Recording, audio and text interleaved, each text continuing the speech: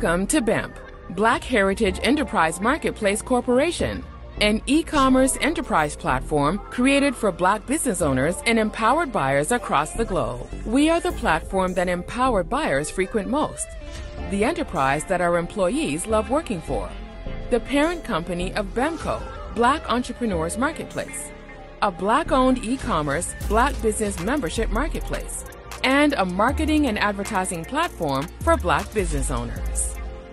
We provide a variety of features such as a black business directory for both state and national searches and targeted product and service searches. Black business owners. Advertise and market your brand to the most important consumers on earth with BHEMP. Black business owners. Join BHEMP today. BHEMP Corporation.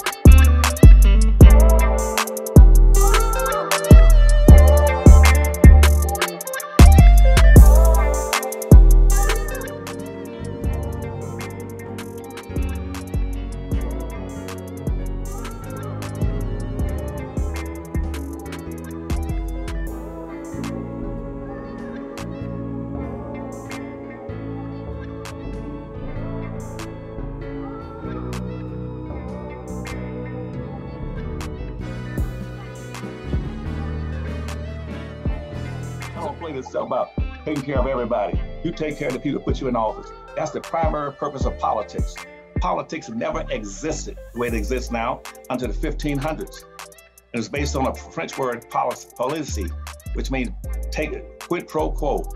It decides what who gets what benefits out of life. It's based on a simple premise of something for something.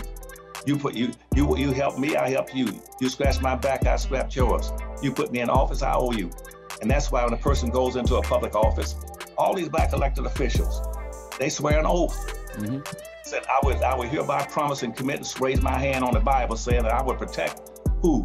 Those individuals who voted for me and put me in that public office. And I never see anybody holding them to that. Mm. I don't see anybody, and, and we got the Congressional Black Caucus, 40 something people. They swore an oath that they would protect black folk. You tell me where have they been all these years? What are they doing? With all this suffering of black folk in this country, all these problems.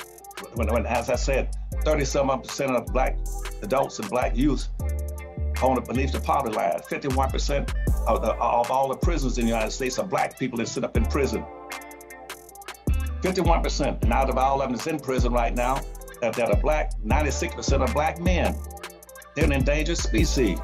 96% of black men, only about 4 or 5% of women black women, but yet they're talking about all these gender issues. It's the black man that's the endangered species. I don't see nobody raising Cain about that. You start talking about simple things like unemployment. The unemployment rate right now it's not what you hear on TV about, well, the black unemployment rate is double that for whites. That's a lie. Black unemployment rate for two years, about three or four years ago, was 38% across the country. That was a national rate unemployment for black folk. 38% in Baltimore, 38% in uh, in in uh, Detroit. Uh, 49% in Pittsburgh, 52% in uh, you know in New York for blacks uh, over 18. But I, I, I got to get off of that. I, that's not what y'all want to hear about today. How, how, do you feel, Dr. Claud, about the black people like myself who have been telling, you know, politicians our votes are only those who support me. I would support only those businesses that was also willing to commit and help my people and support my people. I'm not giving you my money buying it out of your store if you're not doing anything for black folk. If you got a business in the black community, then you better start putting some money into back into the black community. And so we're the only people that won't practice quid pro quo. Others will. When Chinese come to down down down here and put set up stores, black folk go to them.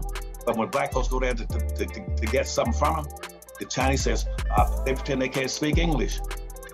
And, and they told them over and over again, we only buy from we only buy from those people or who are who are not who are Asians.